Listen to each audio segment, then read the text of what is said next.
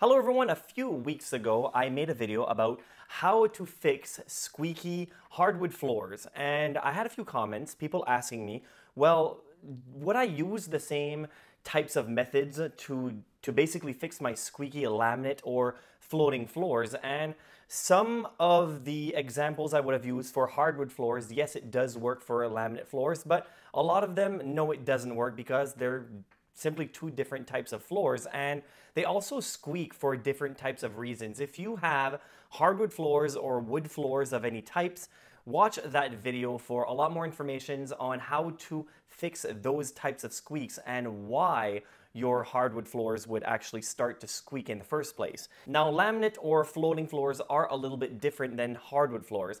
Back in the day, they were a lot thinner, they were a lot flimsier, and they just didn't look as good and they didn't work as good as they do today. Nowadays, they have floating floors that are a lot thicker than they used to be in the past, and at least with this thicker type of floating floors, they tend not to squeak as quickly or begin to squeak as quickly as the old style floating floors. But either way, floating floors will begin to squeak no matter what, almost every case. Usually it begins within a year or two, but it all depends on the type of climate in which you live. Most of the time, the reason why laminate floors will begin to squeak is because it shifts. The reason why is because a lot of people put laminate floors in the basement like in this house and if you have a dehumidifier that fills up almost every day on hot, humid days like today, well, you will have a humid basement. If you don't have that dehumidifier running all the time, then it risks the floating floors to begin to expand. And then when it gets to be more dry outside, it will retract again, which will cause gaps and cracks in the floor, which will begin to rub and essentially squeak. But at least there are a few ways that you can fix it, and that's what I'll be showing in this video.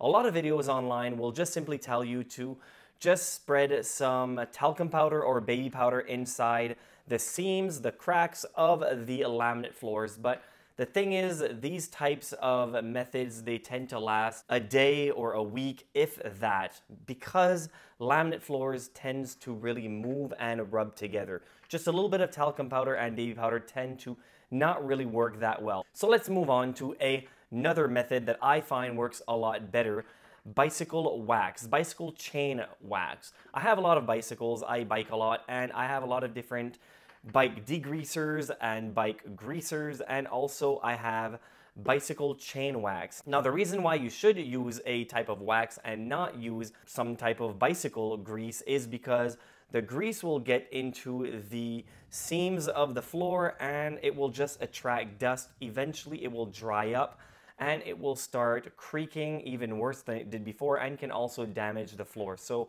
just don't use any grease in the seams of your laminate floors. But using a wax will work a lot better because it acts like a wax, it dries like a wax. Now all you do is you simply pour the liquid wax inside the seams of the laminate floors and then just wipe off all the excess and make sure the floor isn't a slippery hazard and hopefully the squeaking will be gone. If it didn't work the first time around, but you do notice that there is a decrease in the amounts of squeaks that you hear, then just reapply a second, a third time, and the squeaks should be gone. Now, this type of liquid wax will not attract dirt and grime like grease will, so it will last a lot longer than that and also last a lot longer than baby or talcum powder.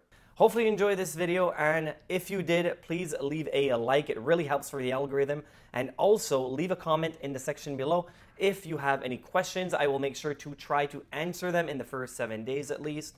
And also if you have any suggestions on future videos, please leave your feedback in the comment section below. Thank you very much for watching. Until next time.